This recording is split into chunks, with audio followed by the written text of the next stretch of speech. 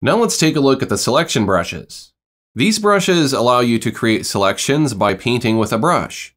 Whereas watercolor brushes deposit watercolor paint, a selection brush deposits a selection. There are three places you can find the selection brushes. Underneath the magic wand, there is the selection brush tool. If you have a selection tool selected, you can find it in the properties bar, and there's an entire default brush category of selection brushes. Let's start with the selection brush tool. I'll reset it.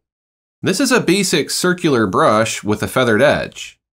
If I reduce the opacity, it's not unlike the digital airbrush. When I paint, a red color is applied to the canvas. This is a temporary overlay that allows you to visualize the shape and opacity of the selection.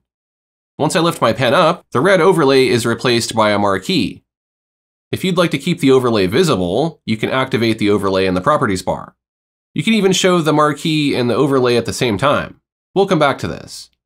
Just like brushes that add paint, I can customize some of the properties of the selection brush tool. In addition to modifying the opacity, I can change the size and grain. I'll draw a spiral shaped stroke for my selection. Then I'll need to fill it with something or paint into it. Let's fill it with a gradient called bars of color.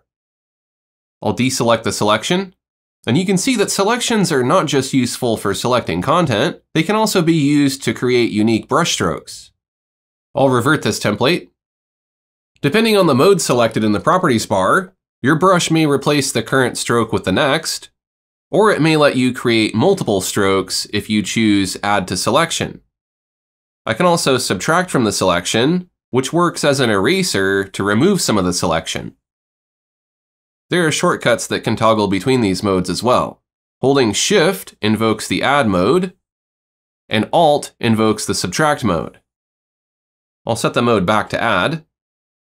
The selection brushes support transparency. If I draw some selections with high and low opacity, and then fill them with a gradient, you can see how much of the background is being covered once the selections have been filled.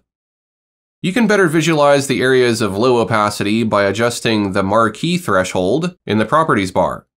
You can use this to show the entire selection edges, or just the most opaque areas. I'll leave the marquee disabled. You can also change the properties for the red overlay in the selection view options flyout. I can change the color, as well as the opacity of the overlay.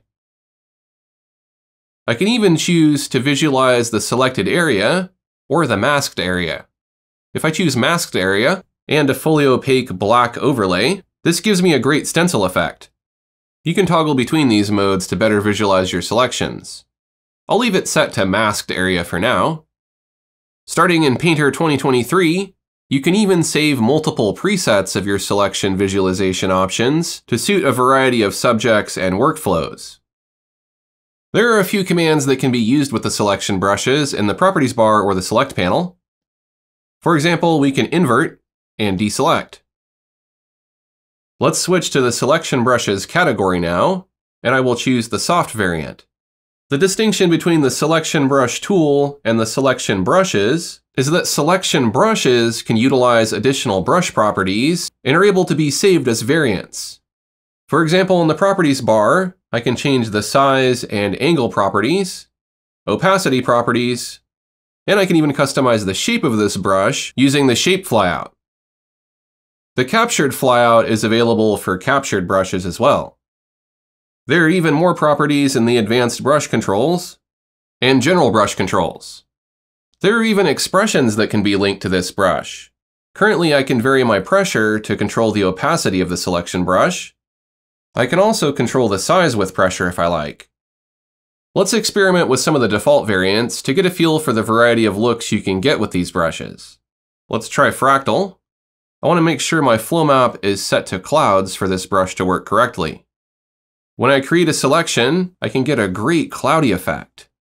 I'll hide the overlay, fill the selection with the bars of color gradient, and deselect. I'll clear that layer and try another selection brush called Falling Leaves, I'll draw some strokes and then fill them with a texture called Desk Paint. You can see that it creates an interesting image composite. As you can see, it's possible to get a lot of different looks and effects out of these selection brushes. Let's clear that layer